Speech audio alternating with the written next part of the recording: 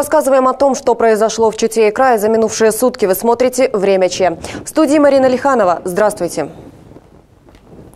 Чуть больше пяти месяцев понадобилось следствию, чтобы собрать достаточно доказательств по делу об убийстве двоих малолетних детей. Сейчас материалы переданы для рассмотрения в суд. Напомним, трагедия произошла в августе 2016-го в агрогородке Опытный. Тогда по подозрению в преступлении задержали 35-летнего Алексея Федосова. Его жертвами стали дети с соседнего дачного участка, 10-летний мальчик и 12-летняя девочка. По данным следствия, обвиняемый, э, у обвиняемого возник конфликт с детьми, которые находились на соседнем дачном участке.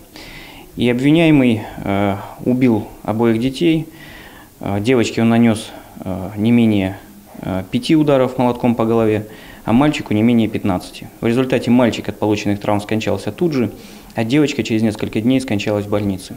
Следователи провели комплекс следственных действий по установлению обстоятельств совершенного преступления.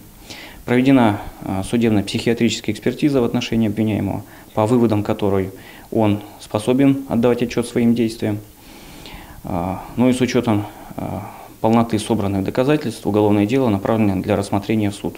Правоохранители добавляют, что причиной кровавой расправы над детьми послужили банальные обзывательства. Мужчину обидели ругательства ребят в его сторону, и он взялся за молоток. Если его вина в суде будет доказана, детоубийце может грозить лишение свободы вплоть до пожизненного.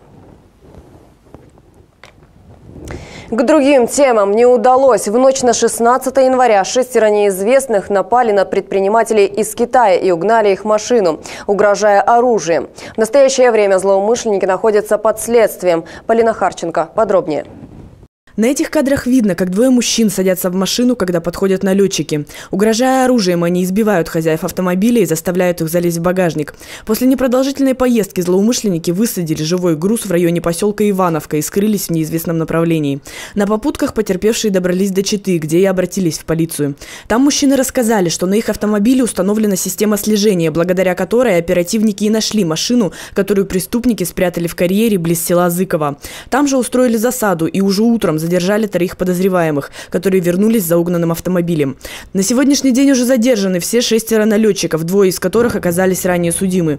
У них изъяли два пистолета и охотничье ружье. А со слов подозреваемых, они э, заранее планировали совершение преступления, зная, что предприниматели проживают в многоэтажном доме, устроили на них засаду. Все подозреваемые признали свою вину. Против них возбуждено уголовное дело по статье «Разбой». И к ситуации на дорогах Читы тройное ДТП произошло сегодня на перекрестке Новобульварная Богомягкова. По информации ГИБДД, автомобиль скорой помощи со включенными проблесковыми маячками возвращался с вызова и столкнулся с маршруткой, которая отлетела в движущийся по встречке «Лексус». В машине скорой в это время находился пациент, которого везли в больницу. В ДТП также пострадал пассажир «Газели». Его с травмой ноги увезла другая карета скорой помощи. Полицейские устанавливают обстоятельства аварии, чтобы определить виновного. А на сегодня у меня все. Оставайтесь на Первом независимом, будьте бдительны и берегите себя.